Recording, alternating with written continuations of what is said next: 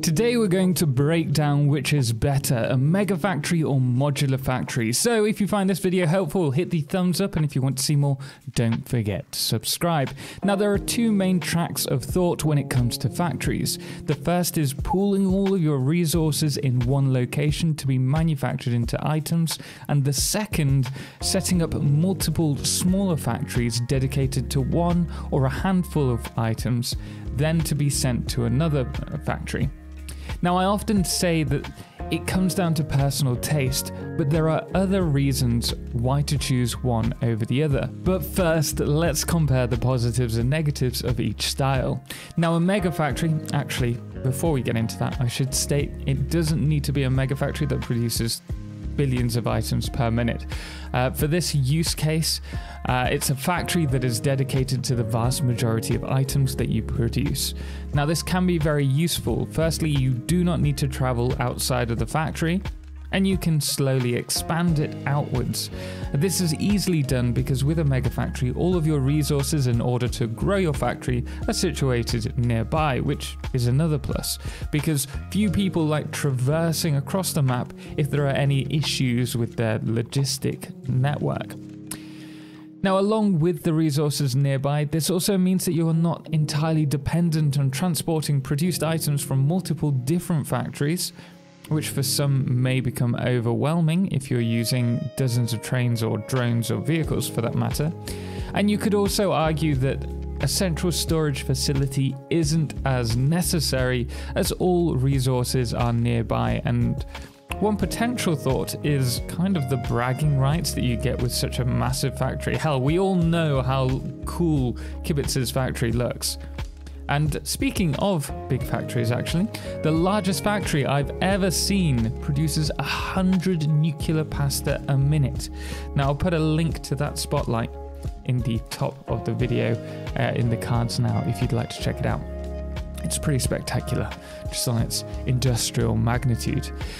Now, a modular factory, on the other hand, has other important perks, and again, to state for the purpose of this video, these are factories that tend to be much smaller, dedicated to one or a couple of items, which then sends the manufactured items on to another factory to be produced into something else.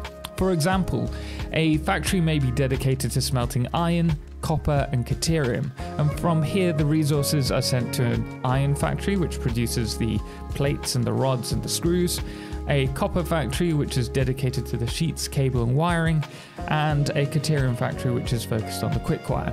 And then all of these resources from those factories will be sent on to another factory to produce something. Now, this requires a lot more thought when it comes to the logistics front, as you'll be setting up the inputs and outputs of resources between many factories, and this for some may become overwhelming. But personally, I think that having a running logistics system of dozens of trains really makes the world feel alive. And you could use vehicles or even conveyors, but I am personally a big train lover if you hadn't noticed already. Now, along with this, building multiple factories actually gives you a lot of freedom to play around with your build styles. So, if you're looking to improve your factory's aesthetics, this can be something that gives you that freedom. Whether you're building an open factory or one that's closed up, you can really play around with the styles. Uh, like, for example, what, what I've done with this FICSMAS factory, or the multiple other factories that we have spread around this save. Now, you also don't need to worry about space, as you can build another factory in another location. It's a small perk, but it really does help a lot and this is particularly prevalent for the main perk of going down the modular factory route. And it's a big one. If you don't have a beast of a machine or a dedicated server, multiple smaller factories will save you FPS.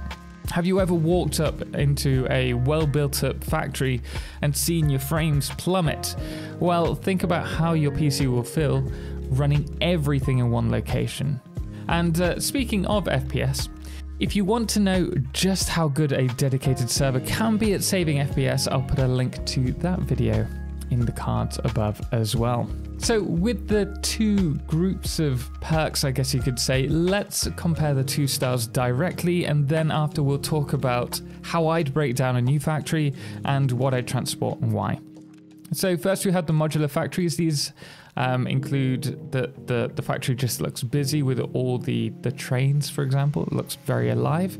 Um, it also gives you the freedom to experiment with build styles and you don't need to worry about the space in your factory. And the other one is saving a lot of FPS compared to built up areas, which are great if you don't have a beastly PC or a dedicated server. However, the negatives are that logistics can get overwhelming quite easily, and you become dependent on a dedicated storage facility, otherwise, you're traveling around a lot um, whether that's for building parts for a new factory or just collecting items that you need. Uh, and the other thing is that you may need to fix your logistics.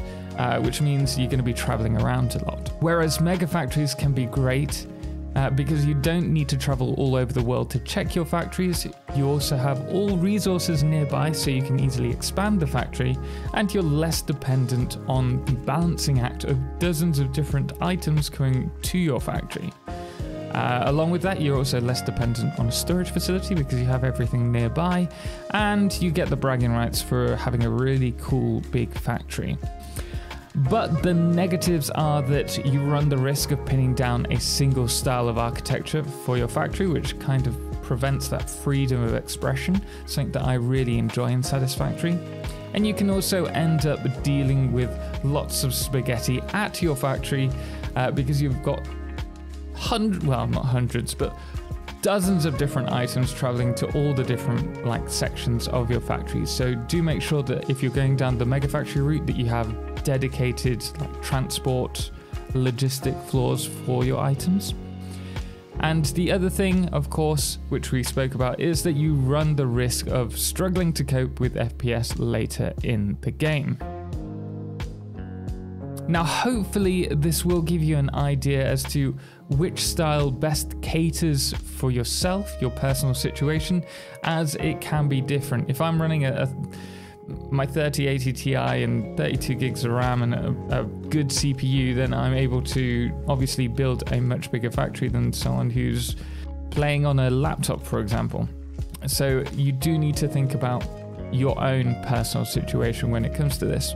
And I'll admit that though I do have some larger factories, even I tend to go for the modular build approach. And I think that we'd all agree that the biggest argument for not building a single mega factory is the lag that comes with a large build.